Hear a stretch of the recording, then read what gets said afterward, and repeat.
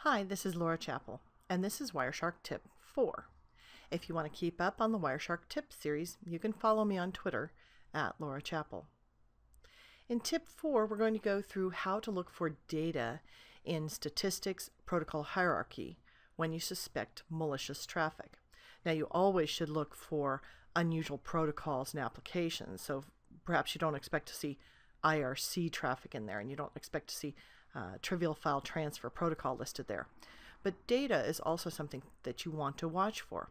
Remember that Wireshark has a, over a thousand dissectors.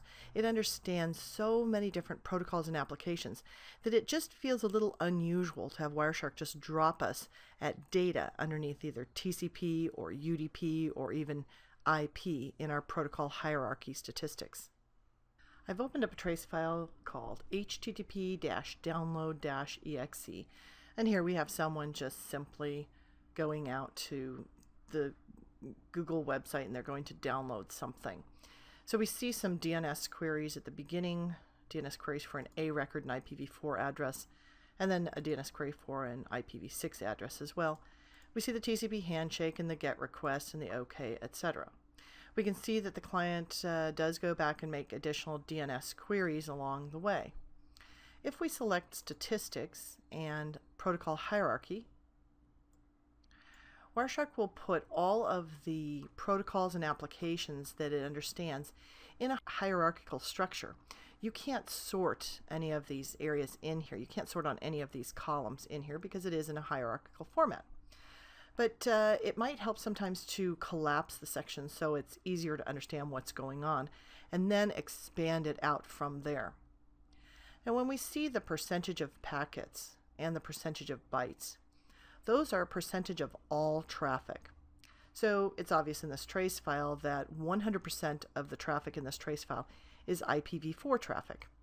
Now I'll expand IPv4 and I can see that 4.38% of all the traffic in the trace file is UDP traffic, whereas 95.62% of all the traffic in the trace file is TCP traffic.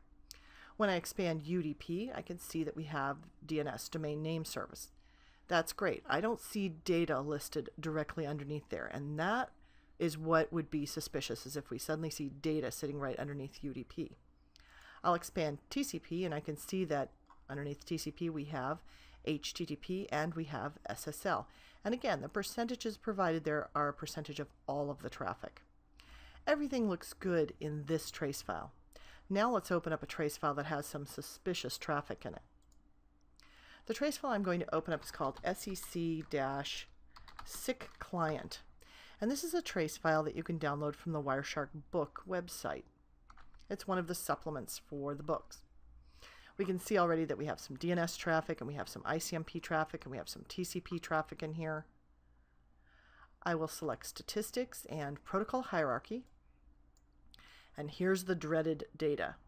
Notice that 100% of the traffic is IPv4, and then we have some UDP traffic that's DNS. But then directly under TCP, we see the word data. That means that Wireshark doesn't recognize the application that is running over TCP. So it just drops us at data. When you see this, you can right mouse click and apply a filter based on the selected value. Now that will automatically create a hierarchical filter we can read the filter. It looks unusual. It's data and TCP and IP and ETH and frame. It looks a little strange, but it works. Now if we look at this traffic, we can see that Wireshark doesn't recognize this port number 18067. The client's port number is just a dynamic port number that happens to resolve to the word NIAD2. But as we look through this traffic, Wireshark doesn't recognize it, and in the protocol column, it just drops us at TCP. But if we look down the packet bytes pane, we can definitely tell that there's a user and then L space L, L, L. And then if we keep looking, we can see Nick. Keep looking, we see some more information. Then we see user host. And then we see join. All right, so this is IRC traffic.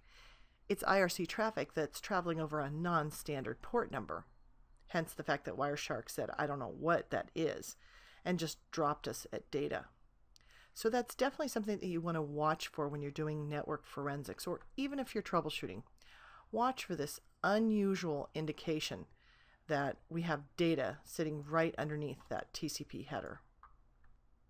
If you want to stay up on the Wireshark tip series, you can follow me on Twitter at Laura Chappell. And for more Wireshark tips and training, visit chappellu.com.